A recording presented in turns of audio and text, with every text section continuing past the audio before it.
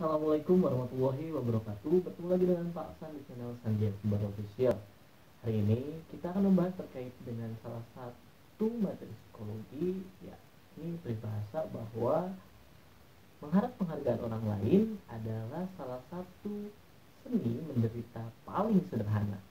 Apa sih maksudnya? Jadi terkait dengan diri kita dalam beraktivitas, dalam berkeseharian, berproses dalam kehidupan ini, kita harus tahu bahwa target utama kita dan prioritas utama kita dalam pencapaian kita adalah harusnya lah diri sendiri.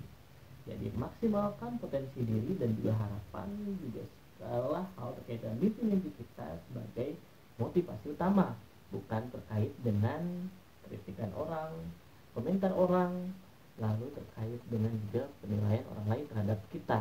Jadi fokuslah terhadap apa yang kita akan lakukan lalu fokuslah terhadap apa pun hasilnya adalah terkait dengan bagaimana penilaian diri kita terhadap proses yang telah kita jalani.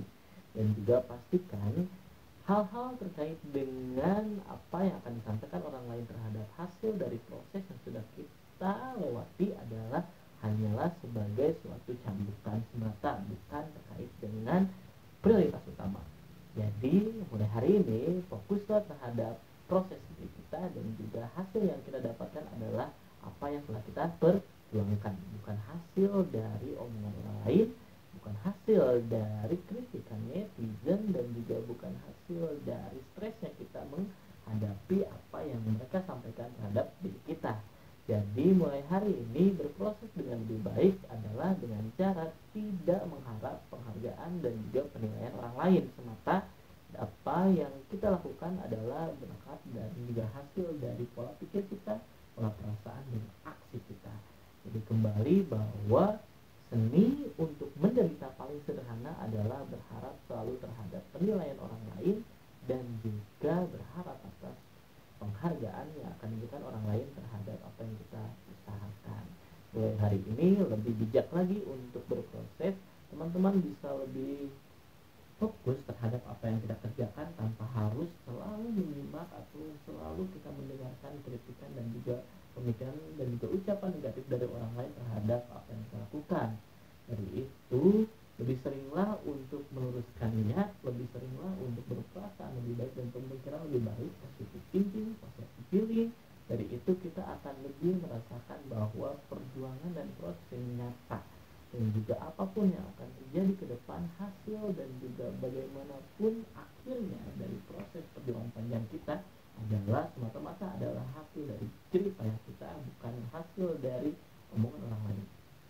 Stop untuk mendengarkan toxic people orang-orang yang hanya butuh untuk diperhatikan dan hanya merasa mereka punya hak untuk mengkritik dan juga mencampur adukan persepsi mereka dengan kehidupan kita.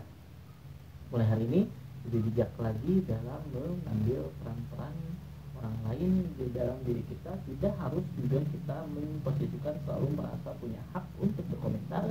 Juga kita juga tidak harus merasa selalu terganggu dengan komentar orang lain yang sebenarnya tidak punya hak dalam mengkritik atau juga bahkan sekedar mengomentari hidup kita. Sekian dari Pasan untuk materi hari ini. Semoga bermanfaat. Tidak lupa Pasan tunggu selalu kritik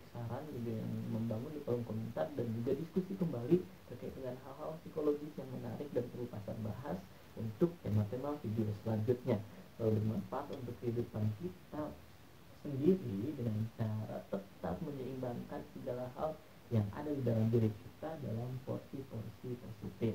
Lalu juga mulailah untuk bergerak lebih positif lagi mengantisipasi yang namanya gangguan negatif dari luar termasuk juga ocehan-ocehan netizen di luar sana kembali bahwa kita harus tetap peduli terhadap lingkungan sosial tapi bukan berarti kita harus selalu atau terus menerus diganggu oleh segala rupa bentuk alasan atau komentar orang lain terhadap kita jadi kepedulian itu bukan berarti selalu mendengar kritikan dan komentar yang juga tidak selalu membangun diri kita.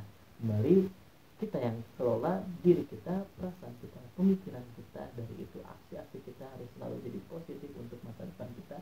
Dan satu hal bermanfaat berarti tidak mengganggu dan juga tidak berdampak negatif terhadap orang lain. Itu batasannya. Kembali bahwa kita harus mulai tergerak untuk selalu menjadi sisi yang positif memiliki peran-peran yang positif dan juga melakukan hal-hal yang positif bermanfaat atau tidak sama sekali. Yang penting bermanfaat atau tidak bermanfaat pun yang penting tidak mengganggu orang lain. Pastikan mantapkan potensi-potensi kita untuk kemajuan diri kita dan saatnya juga setelah kita dapat mengontrol segala bentuk aktivitas kita kita pun bisa mulai memajukan orang lain dengan cara berikan efek positif terhadap lingkungan kita. Assalamualaikum warahmatullahi wabarakatuh